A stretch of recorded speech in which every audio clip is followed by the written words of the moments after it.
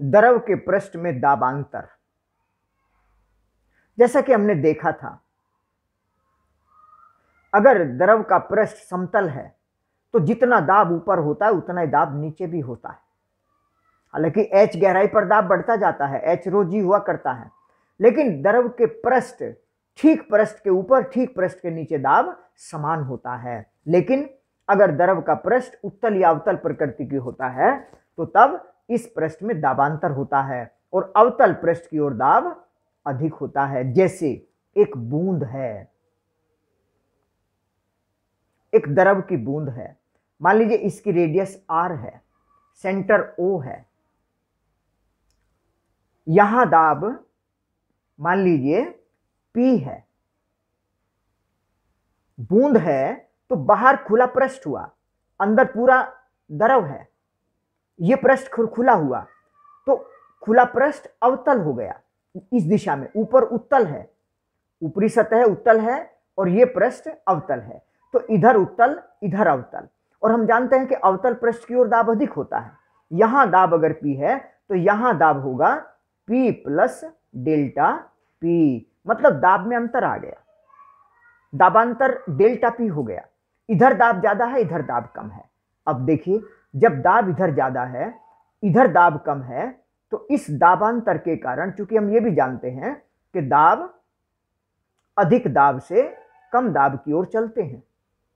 दाब दरों में प्रभाव होता है, अधिक दाब से कम दाब की ओर। मान लीजिए, इस दाब के अंतर के कारण ये द्रव की बूंद थोड़ी सी बड़ी हो गई, ये डेल्टा आर।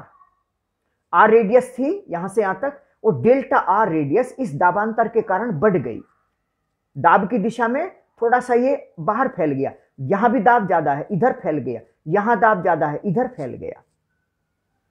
तो दाब के कारण दाब पी लग रहा है, डेल्टा पी दाब का अधिक अंतर है, और ये बल की, बल एरिया पूरा का पूरा कितना होगा? पूरे पृष्ठ का area four pi R square होता है। तो समझिए कि यहाँ दाब डेल्टा पी पड़ रहा है, यहाँ दाब डेल्टा पी पड़ रहा है अवतल पृष्ठ पर यहाँ दाब इसके मुकाबले में डेल्टा पी अधिक पड़ रहा है। और पूरा area four pi R square होता है।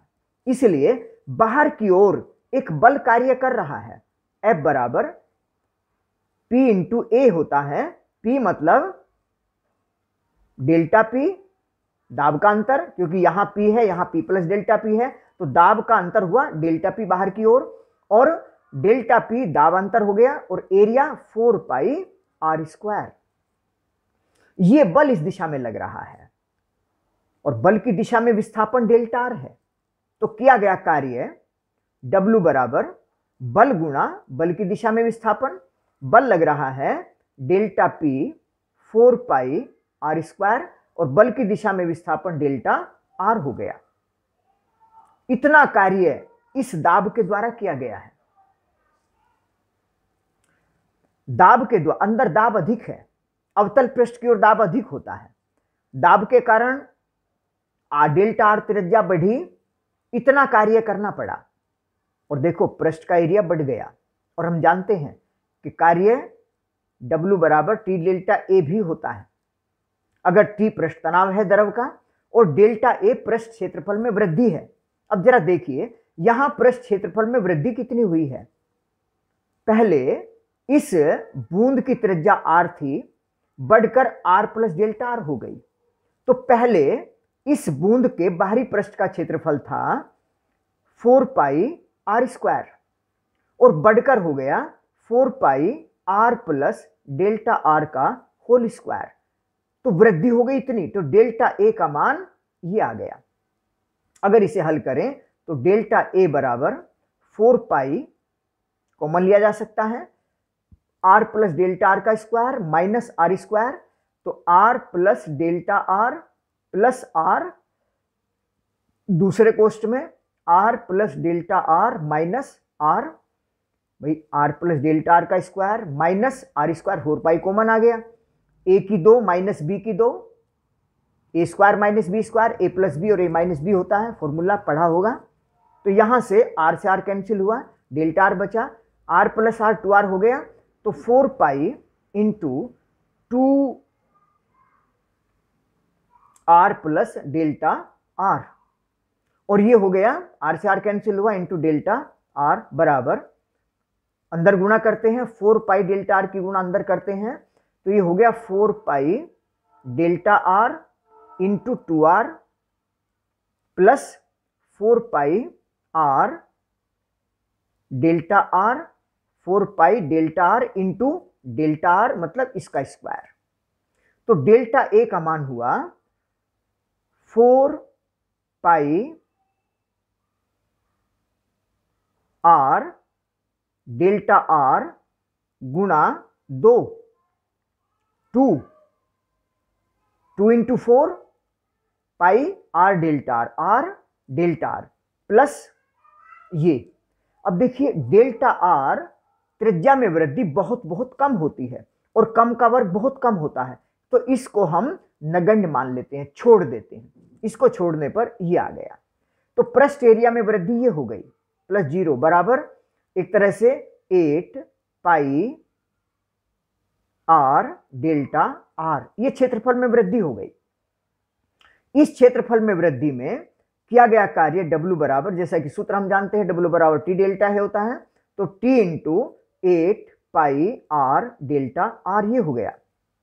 और ऊपर से हमने निकाला है कि ये जो बल लग रहा था, दाब के कारण जो बल लग रहा था, बल द्वारा जो कार्य किया गया वो ये है।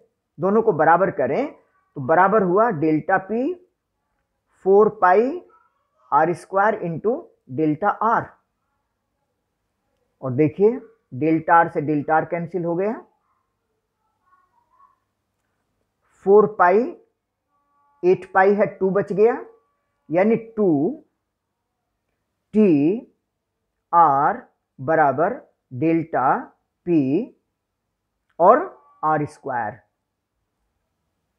स्क्वायर से आर कैंसिल हो गया तो एक तरह से बराबर, यानी टू आर आर तो कैंसिल हो गया, टू टी बराबर delta P into R this implies that delta P is equal to R इधर चला जाएगा टू टी अपॉन आर। यानी अवतल पृष्ठ की ओर दाब अधिक होता है और कितना अधिक होता है? टू टी बटे आर के बराबर।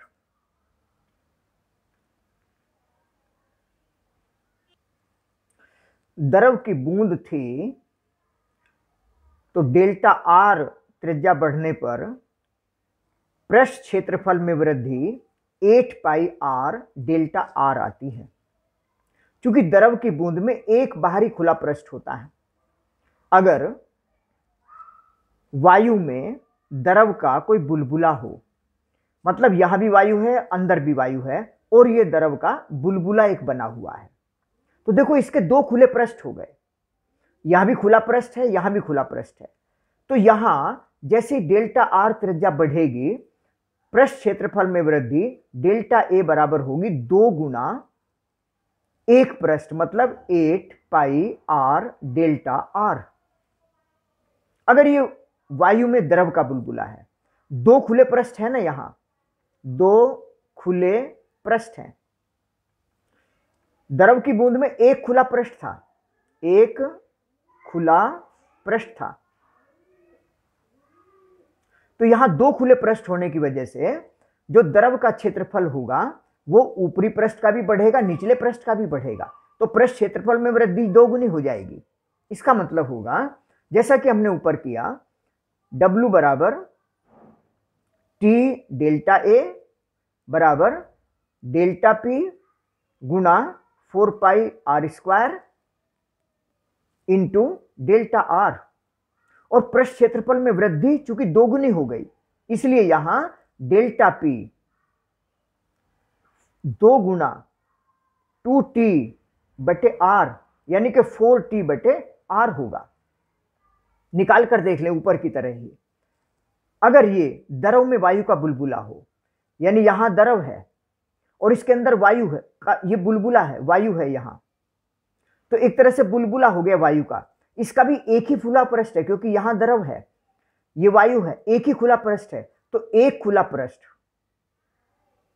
एक खुला पृष्ठ है। तो एक खुला पृष्ठ यानी कि यहाँ भी क्षेत्रफल जो डेल्टा ए बढ़ेगा, वो वही होगा, द्रव की बूंद की तरह। Eight pi R into delta R. और यहाँ भी दाब का अंतर वही डेल्टा पी बराबर टू टी बटे आर आएगा। बहुत महत्वपूर्ण बात है, अच्छी तरीके से तैयार कर ली जाए।